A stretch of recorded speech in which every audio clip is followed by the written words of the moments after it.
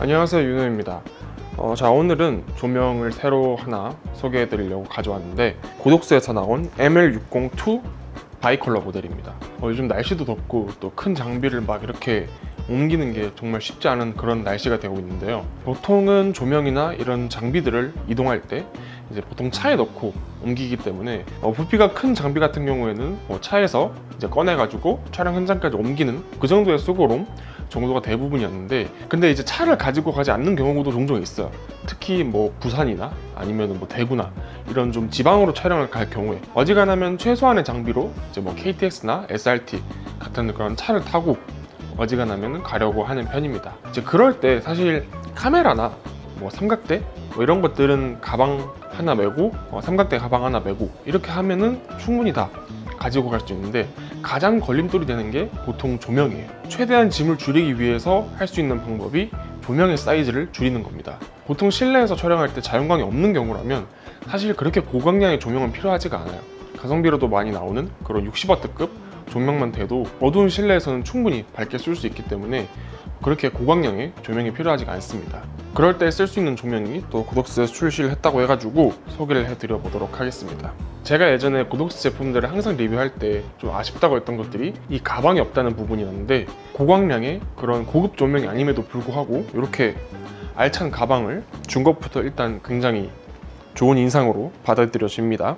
한번 제품을 열어보면 이렇게 구성품이 들어가 있는 걸 볼 수가 있고 메인 본품이 있고 그리고 reflector 가 있고 파워 조명 거치대 달아가지고 조명 각도를 조절할 수 있는 그런 mount가 하나 있고 그리고 파워 케이블 선 이렇게 심플하게 구성이 되어 있습니다. 일단 조명부터 보시면 조명이 굉장히 깔끔하고 작습니다. 진짜 뭐 제 주먹만 하죠 거의 진짜 작은 사이즈로 컴팩트하게 나온 그런 조명이라는 것을 알 수가 있습니다. 어, mount 같은 경우에는 일반 Bowens 타입은 아니고 고독스 mount로 되어 있고 보엔스 마운트를 쓰시는 분들은 이제 어댑터를 이용해 가지고 기존에 쓰던 그런 보엔스 마운트의 액세서리들을 쓸 수가 있습니다. 뒤쪽을 보시면 이렇게 온오프 버튼이 자리하고 있고 색온도 조절 그리고 광량 조절 이렇게 심플한 버튼 구성으로 되어 있습니다. 그럼 한번 조명을 켜보도록 할게요.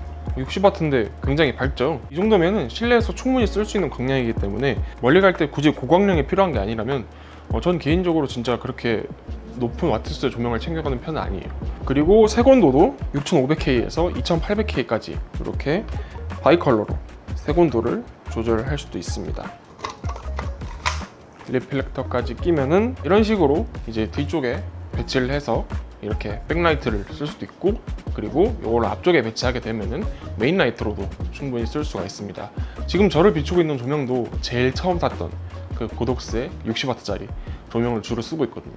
자 그러면 고독스의 이 ML602 바이컬러 모델의 장단점에 대해서 한번 얘기를 해보도록 하겠습니다. 요즘 조명들이 대부분 색 표현 능력들이라든지 그런 것들이 점점 우수해지고 있기 때문에 굉장히 품질이 좋은 거는 사실 뭐 더 크게 설명할 필요가 없을 것 같아요. 그렇기 때문에 전반적인 사용 경험에 있어서 장단점을 한번 이야기해 보도록 할게요. 일단 첫 번째 장점은 크기와 무게였습니다. 지금 보시는 것처럼 사이즈가 굉장히 작기 때문에 어, 이거를 이 조명 가방에 넣을 수도 있긴 하겠지만 제가 평소에 사용하는 카메라 가방인데 사이즈가 작기 때문에 카메라 가방에다가 뭐 요거 조명 넣고 뭐 reflector 쓸 거라면은 reflector 넣고 그리고 아직 공간이 남기 때문에 이렇게 넣어가지고 닫아버리면 굳이 이 조명 가방을 챙기지 않아도 이렇게 가방 안에 넣을 수 있는 컴팩트한 사이즈라는 게 가장 첫 번째 장점이었습니다.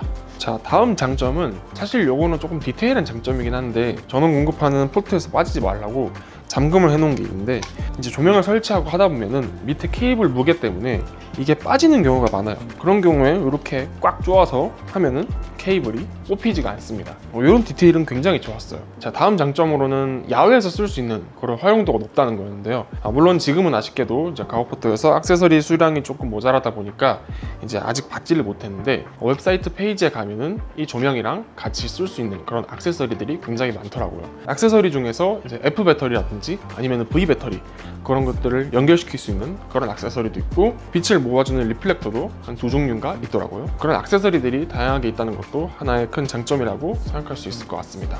자 그럼에도 조금 느껴졌던 아쉬운 부분들이 몇 가지 있었는데요. 일단 첫 번째는 mount입니다. 이게 아무래도 사이즈를 줄이려고 하다 보니까 Bowens mount는 좀 크잖아요 아무래도. 그렇다 보니까 이제 Godox mount를 채용을 한 것 같은데 많은 분들이 조명 액세서리를 이제 Bowens mount를 많이 쓰다 보니까 본인이 갖고 있는 그런 액세서리를 활용하기 위해선 자, 어댑터를 또 끼워줘야 한다는 그런 아쉬움이 있었습니다.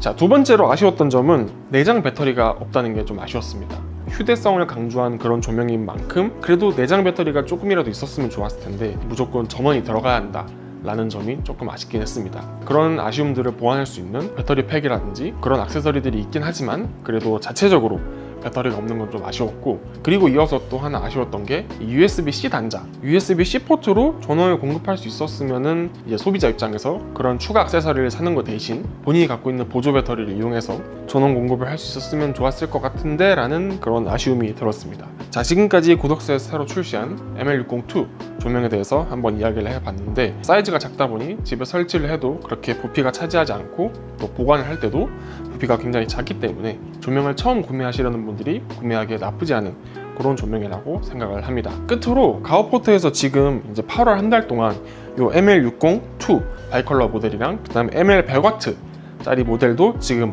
파격 할인 행사를 하고 있다고 하니까 60W, 100W 소형 조명에 관심 있으신 분들은 8월 안에 구입을 하시면 좀 더 저렴하게 구입을 할 수 있으니까 한번 가오포토 사이트에서 확인을 해 보시는 것도 좋을 것 같습니다. 자 오늘 영상은 여기까지고요. 다음에도 좀 더 유익한 내용으로 찾아올 수 있도록 하겠습니다.